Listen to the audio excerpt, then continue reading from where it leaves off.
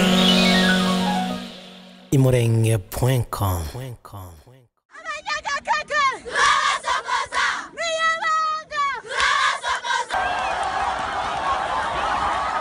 uyu munsi dufite ibyishimo byinshi byo gushimira abakinnyi kuba kwitwara neza muri iki gikombe cyitiriwe rwanya intare kandi igikombe cyitiriwe ibikorwa byo kubaka sitade ya minembwe ubwo rero tukaba cyane cyane dushimira abakinnyi uburyo bitwaye dushimira n'abaturage dukomeje gufatikanya muri ibyo bikorwa.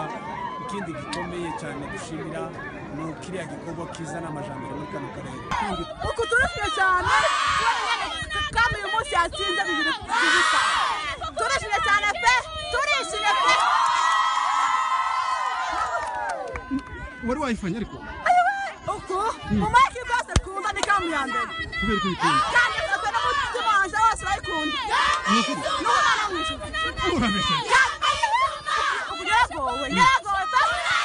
Mutahire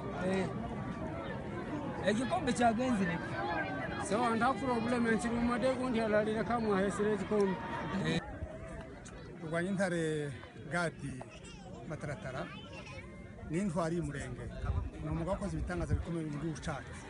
Yaduhagarariye muri byinshi kandi intwari kuri kimwe gusa.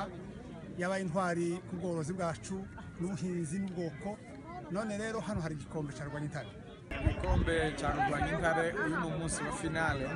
Ah, nk'uko ubibona nawe hano kuri sitade Eh, twaramushimiye. Eh, twashimiye dr. Kigabo wa- icyo gitekerezo cyo kutuheza ikipe kugira ngo mu minembwe tuzayikinire kandi twamushimiye ko hari ukuntu yagiye agaragara cyane mu buryo bwo gushyigikira siporo hano mu minembwe imurenge.com